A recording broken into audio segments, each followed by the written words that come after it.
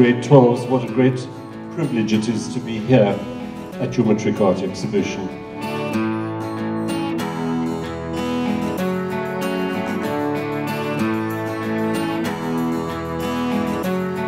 And I want to take you on a journey that perhaps some of your parents have had this evening.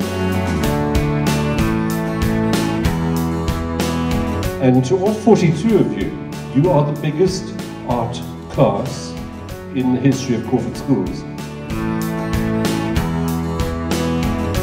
I've been walking around for a little while looking at the work and, and I've been trying to find the right words to describe it. And I think the word that comes to mind most often is joyous. There is so much, whether the work is serious or whether it is uh, uh, just a, an absolute delight. There's a sense of joy in your creation, and that is something that you don't often see in exhibitions, that sheer pleasure in the creation that has gone into all of this.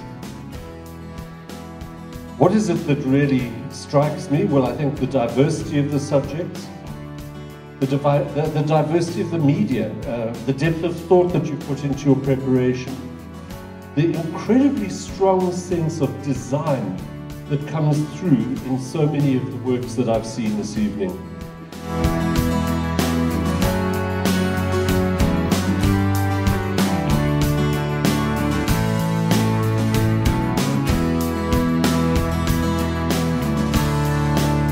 You see us as a masterpiece, not yet complete, and help us become greater than our wildest dreams.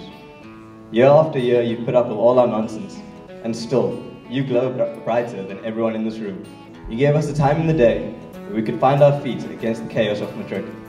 In that little classroom of yours, you managed to create a place of serenity, a place that all of us look forward to going. You're simply indescribable. You have more youthful spirit in you in, your entire grade 8 combined.